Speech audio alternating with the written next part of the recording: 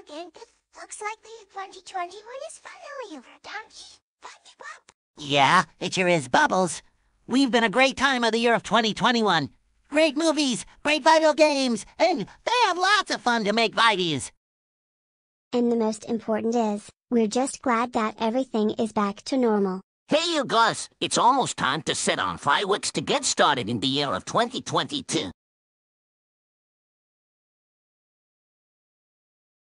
Golly it's almost time. Bugs, set off the firework.